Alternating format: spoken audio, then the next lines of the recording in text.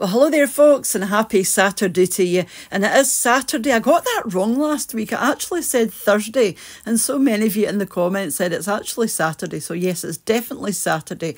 So, thanks for coming back just to see what I got for the family food shop this week. And as you can see, we've gone back to Aldi because, yeah, you can get so much stuff in Aldi, but there's always a few things we can't get in Aldi. So, I've gone to Tesco as well, just for the few bits and bobs that I couldn't get in Aldi. And also, I hope that I find find you very well indeed, and you're all having a great week so far. So, as usual, I'll just run you through everything that I got, and I was just under £90 for this, and that's my receipt from Aldi there. And I'll give you a quick look at the Tesco receipt as well. I do still have to go to the local butcher, so I'll be around about 20 £25 in there as well, just to add onto the top. So I picked up a few bananas.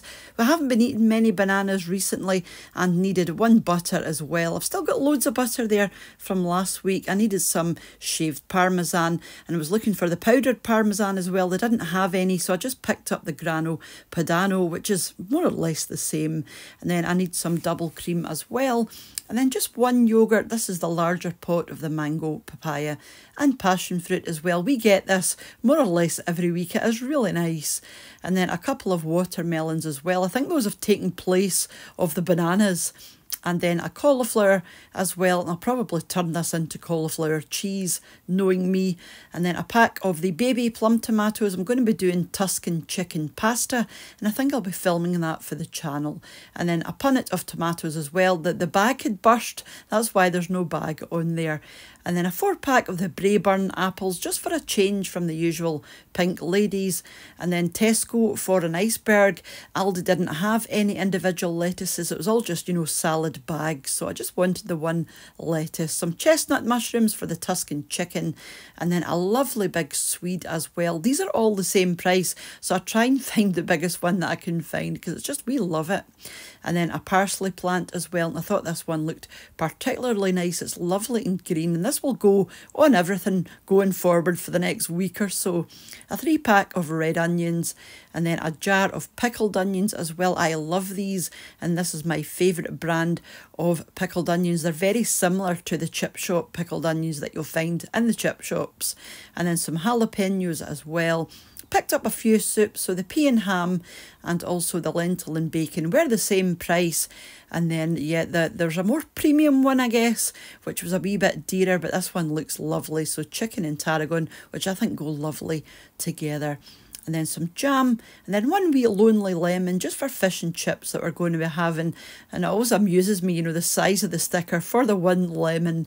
And then a big bag of our usual tatties, a few cans of tuna steak and brine, and these are the no drain or there's very little liquid in there, so you don't have to faff about with draining too much and then a four pack of the sweet corn was out of that and I'm going to be doing a chocolate orange tray bake. So I picked up this and this is the sun-dried tomatoes for the tuna, I was going to say tuna pasta bake for the Tuscan chicken pasta bake, some penne pasta and some basmati rice as well. I was just about out of this and then one cayenne pepper just for me. I love cayenne pepper, as most of you will know by now. Adds heat without adding a great deal of flavour. For the chocolate orange tray bake that I'm going to be doing, I needed some condensed milk and then some drinking chocolate as well.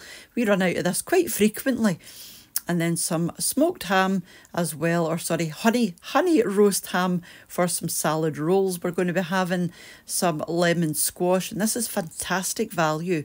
It's one and a half litres. I got the Robinsons lemon squash last week, and this one is much nicer. It's not as sharp and it tastes a wee bit sweeter, although there's no added sugar, and we just love it.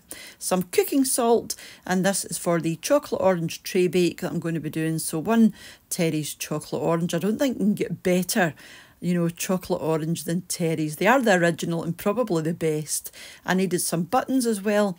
These are the orange chocolate buttons and then some wee minis just to decorate the top of the mint chocolate, sorry, chocolate orange tray bake.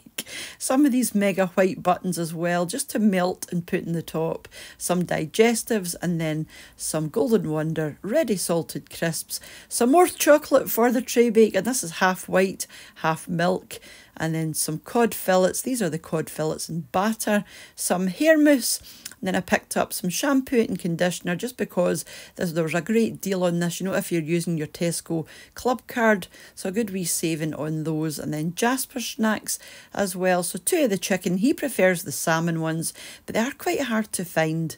And then a two pack of kitchen roll and then a couple of packs of wipes. Everything I buy has to be in doubles like this, like the chocolate, the wipes. Does anybody else do that? If they get a habit of picking up two instead of the one, even if they just need the one, I tend to pick up two. I don't know why I do that. I've always done that. But yeah, that was everything that we got from Aldi and Tesco this week. Like I said, I do still have the butcher to go to as well for a wee mince round and some chicken breast as well. So thank you so much for watching and I will catch up with you during the week back here on What's for Tea. So take care and bye for now. Bye now.